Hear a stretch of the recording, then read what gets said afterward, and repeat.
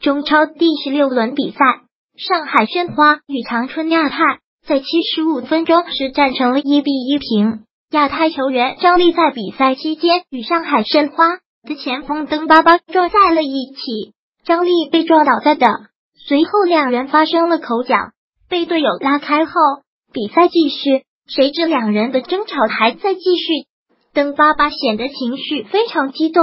此时，只见登巴巴指着自己的胳膊。絮絮叨叨的说着话，还不断的做出锁喉的动作。亚太黑人球员上前安慰登巴巴，只可惜登巴巴还不平息，非常懊恼。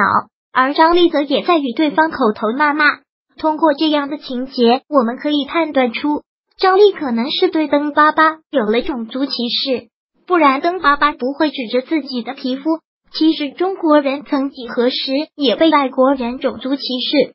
但是我们却从来没有歧视过他人。此次张帝的行为的确是非常不理智的，也是体现他个人素养的问题。而中超赛场出现种族歧视，恐怕也是一个大新闻。赛后，上海申花队主帅接受采访时也表示，亚太球员向登巴巴使用了国际上不能使用的对黑人球员歧视的语言进行攻击，才造成了登巴巴的愤怒。如今更衣室的登巴巴心情仍然不能平复，这也是我们第一次见到如此愤怒的登巴巴。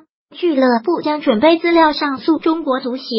看来上海申花已经确定了张力的种族歧视。如果张力真的被查出涉嫌种族歧视的话，那么他就会被解散，也绝对会让他的职业生涯受此影响。